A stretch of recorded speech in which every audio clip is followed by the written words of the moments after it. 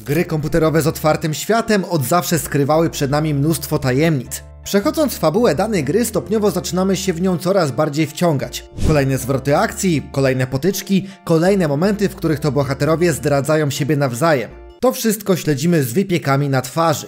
Niestety niektóre momenty przedstawione przez twórców nie są dla nas do końca zrozumiałe. Pojawiają się znaki zapytania, na które ciężko w grze odnaleźć odpowiedź, lub co gorsza, nie da się ów odpowiedzi w ogóle odnaleźć. Musimy wówczas przeprowadzić swoje własne śledztwo, aby rozwiązać nurtującą nas niejasność. Idealnym przykładem z GTA, który obrazuje to, o czym powiedzieliśmy sekundę temu, jest wątek Donalda Lowa, którym to właśnie zajmiemy się w dzisiejszym filmie. Ja jestem Hubson, witam Was na moim kanale i zapraszam Was na materiał, który zrealizowałem przy pomocy Marcina. Bawcie się dobrze. Dzisiejszy film zaczniemy od sprawy niemal równie tajemniczej co samo zniknięcie Donalda Lowa. Chodzi tu nam o to, na czym tak bardzo zależało tej postaci lub po prostu co było w pakunkach, które Claude musiał dla niego pozyskać. Pierwszy raz pakunki zostają wspomniane przez Lowa w misji A Drop in the Ocean. Jest to sławna misja, gdzie zadaniem Kloda jest zebranie pakunków wyrzuconych do wody. Co równie ważne, to że po zebraniu wszystkich paczek na konto Kloda wskakuje aż 5 gwiazdek pościgu, co pokazuje, że w pakunkach ewidentnie musi znajdować się coś cholernie cennego oraz ponadto coś nielegalnego.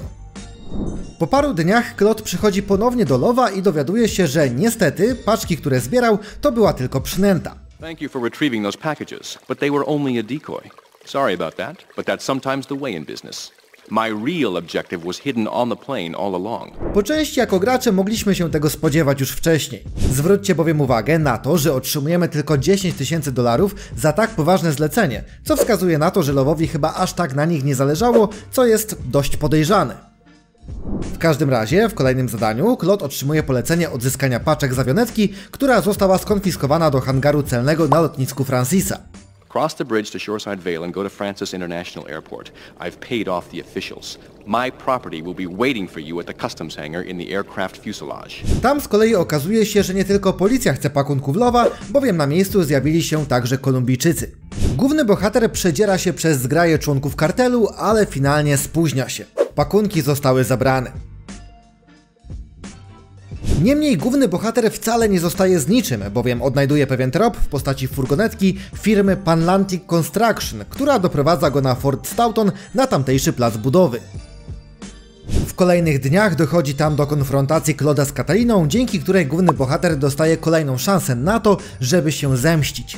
Lecz zważywszy na to, że Klod wyraźnie wahał się z pociągnięciem za spust, Katalina uniknęła śmierci i uciekła z placu budowy. Hey, take it easy, amigo. No es nada, no es nada. I left you pouring our heart out into the gutter. Hey, don't shoot, amigo. No, no, no problem. We all friends. Here, Don't be such take a this. pussy. Hey, we got no choice, baby. Yeah.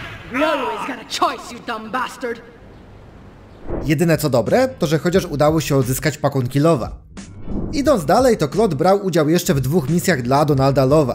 W pierwszym z nich, pod nazwą Escort Service, Claude miał eskortować bezpiecznie Oriental Gentlemana prosto do oddziału firmy AMCO Petroleum Company w Pike Creek, gdzie pakunki miały zostać, jak to powiedział Love, zweryfikowane. My Oriental friend will need an escort while he takes my latest acquisition to be authenticated. I want you to follow him and make sure both he and my package get to Pike Creek unharmed. Z kolei drugą misją był quest o nazwie Decoy. Tym razem zadaniem głównego bohatera było odciągnięcie uwagi policji od furgonetki po to, żeby ta mogła spokojnie dojechać z powrotem do budynku Love Media. Można zatem zauważyć, że służby LCPD podjęły jeszcze jedną próbę zdobycia tego, co znajdowało się wewnątrz pakunków. I tak właśnie po całym zamieszaniu, kiedy wszystko poszło po myśli kanibala Lowa, Claude po raz ostatni idzie do Donalda z nadzieją na kolejne dobrze płatne zlecenie, ale nie zastaje nikogo w środku.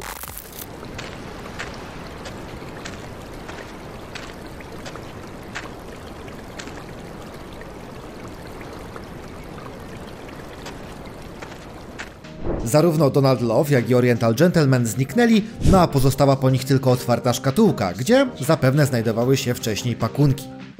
Na pierwszy rzut oka cała ta sprawa wygląda bardzo tajemniczo i może się wielu osobom wydawać, że nie mamy żadnych poszlak na temat tego, co właściwie było w pakunkach Lowa, ani dlaczego on zniknął. Na nasze szczęście istnieją pewne źródła, które mogą nas naprowadzić na rozwiązanie tej całej zagadki. Pierwszą wskazówką, która może nam podpowiedzieć, co znajdowało się w szkatułce, jest poradnik Brady Games z GTA 3. Otóż, jak się okazuje, przeglądając niektóre misje dla Donalda Lowa, autorzy poradnika wspominają kilka razy o matrycach. Jeżeli skojarzyliście w związku z matrycami wątek drukarni w GTA Vice City, to jest to zdecydowanie dobry trop. Dokładnie tak. W obu tych przypadkach do miasta miały przylecieć matryce, które miały posłużyć do niczego innego jak do drukowania pieniędzy. I dopiero teraz, dzięki tej informacji, możemy już mniej więcej się domyślać, co miał na myśli Love, kiedy mówił, że pakunki idą do weryfikacji. Love bowiem planował zacząć prać brudne pieniądze, które drukowałby dzięki skradzionym matrycom, wykorzystując do tego firmę MCO Petroleum, która jest jednym z frontów konglomeratu Love Media. Gdyby ktoś chciał całą tę teorię podważyć, to wcale nie jest to takie proste. Otóż przedstawiony chwilę wcześniej dowód nie jest jedyny. Kiedy spojrzymy sobie na to, jak miała wyglądać fabuła GTA 3 w czasie tworzenia tej gry przed 2001 rokiem, łatwo zauważymy, że zaszło tam naprawdę wiele zmian. Między innymi nie istniała jeszcze postać Donalda Lowa, ale zamiast tego miał się pojawić Toshiro, czyli Oyabun Yakuzy. I tutaj warto podkreślić, że Oriental Gentleman już wtedy był uwzględniony w scenariuszu gry, z tym, że był bezpośrednim człowiekiem Jakuzy. W związku z tym tematem, przeglądając wiele różnych misji ze Świętego Grala GTA 3, czyli dokumentu designerskiego, możemy natrafić na bardzo interesujące informacje. Na przykład twórcy podczas napadu na konwój policyjny na moście Callahan wspominają o tym, że Oriental Gentleman zna się na fałszowaniu dokumentów oraz waluty, co będzie kluczowe dla operacji produkowania fałszywek przez Jakuzę. Tak więc początkowo to Jakuza miała dokonać napadu na konwój, żeby wyciągnąć z niego Oriental Gentlemana, a nie Kolumbijczycy. Przechodząc dalej, a dokładniej do opisu misji od Toshiro, to prezentują się one bardzo podobnie jak w przypadku Donalda Lowa, choć niektórych zadań zwyczajnie brakuje w dokumencie, a ponadto są również i takie, które zostały kompletnie wycięte. Dla przykładu, w misji Grand Theft Aero Rockstar North kilkukrotnie wspomina o matrycach, które mamy odzyskać. Warto wspomnieć także o usuniętej misji z GTA 3 o nazwie One of the Gang. Zgodnie z solucją tej misji wygląda na to, że Yakuzie udało się rozpocząć produkcję fałszywek, a Toshiro chciałby to uczcić w swoim kasynie, które swoją drogą w wersji finalnej należy do Kenjiego. Niestety radość staruszka nie trwa zbyt długo, ponieważ kiedy udaje się z Klodem do ogrodu na dachu kasyna, nagle naprzeciwko pojawia się zamochowiec, któremu udaje się zestrzelić Toshiro. I tak właśnie cała robota związana z kontynuowaniem operacji fałszerskiej oraz rządzenia Jakuzą spada na barki Kenjiego Kasena, który zostaje nowym przywódcą. Po kilku misjach wątek matryc z powrotem się pojawia, a my otrzymujemy misję Escort Service oraz Decoy, tyle że od Kenjiego, a nie od Lowa jak ma to miejsce w wersji finalnej gry. Jak wspomnieliśmy wcześniej, solucja obu tych zadań jest praktycznie identyczna. Tak jak te wątki się przeplatają i jak bardzo są ze sobą powiązane oraz jak końcowo układają się w jedną całość, to coś niesamowitego. Dopiero teraz tak naprawdę możemy dostrzec, jak cholernie ważną rolę miał pełnić Oriental Gentleman. Nic dziwnego, że mężczyzna jest tak niezwykle ważny dla Donalda Lowa, skoro jest fałszerskim mistrzem. Gdyby nie dokument, który ujrzał światło dzienne po 20 latach od wyjścia GTA 3, nie udałoby nam się rozwiązać tej tajemnicy. Nie wiedzielibyśmy, dlaczego pakunki były tak cenne oraz jak wielką rolę spełniał w tym wszystkim Oriental Gentleman.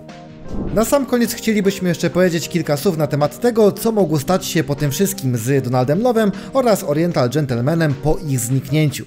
Pierwszą opcją jest to, że Love wraz z Oriental Gentlemanem mogli zostać schwytani przez Kolumbijczyków, którzy, patrząc na fabułę, mieli ten sam plan w związku z pakunkami oraz Oriental Gentlemanem. Jest to niezwykle prawdopodobna opcja. W końcu Kolumbijczycy już wcześniej próbowali uprowadzić Oriental Gentlemana i kto wie, być może w pewnym momencie dopięli swego, a ponadto pozbyli się raz na zawsze Donalda Lowa. Kolejną opcją mogło być z kolei to, że po tym gdy Love miał już matrycę, no to postanowił zniknąć z Liberty City, aby w jakiejś nikomu nieznanej lokalizacji rozpocząć fałszowanie pieniędzy na dużą skalę. Liberty City stało się bowiem piekielnie niebezpieczne. Realnym zagrożeniem byli zarówno Kolumbijczycy, jak i służby LCPD. Co więcej, to możemy nawet domyślać się, w jaki sposób Donald Love mógł uciec z Liberty City i dlaczego teoria mówiąca o tym, że to właśnie ucieczka była motywem zniknięcia Love'a, jest również bardzo realna. Mianowicie we wrześniu 2001 roku w gazecie Liberty Tree ukazał się wywiad przeprowadzony z Donaldem Love'em. Mężczyzna opowiadał tam o swoich przyszłych inwestycjach w Liberty City oraz ogólnie o swoim wkładzie w rozwój tego miasta. W pewnym momencie Donald Love wspomniał o tym, że rozmawiał z burmistrzem miasta na pokładzie swojego luksusowego jachtu na Karaibach. Dlaczego uważamy, że jest to absolutnie możliwe, aby Love wybrał swój jacht jako potencjalny sposób ucieczki? Ano przede wszystkim dlatego, że była to najlepsza droga ucieczki. Świetnie przypomina to wątek z Cortezem z Vice City. U Corteza bowiem lotnisko, tak samo jak i w przypadku Donalda Lowa, odpadało z uwagi na zbyt duże zainteresowanie służb, które z automatu blokowały lokalne lotniska. W takim wypadku najlepszą drogą ucieczki stawała się właśnie droga morska. Would it be safer to fly? I'd be dead before I reach check-in. Besides, I need to get my merchandise out of the country. Need another gun? You, my friend, are worth ten guns. No a jak sprawa zniknięcia Lowa potoczyła się waszym zdaniem? Czy magnat nieruchomości zdołał uciec, czy może dopadli go Kolumbijczycy? Dajcie koniecznie znać w komentarzach, co na ten temat sądzicie. Tymczasem na dzisiaj to byłoby już wszystko. Dzięki, że byliście, dziękuję patronom za wielkie wsparcie, no i z góry zapraszam na kolejne odcinki, które pojawią się rzecz jasna już niebawem. Trzymajcie się i do zobaczenia. Hej!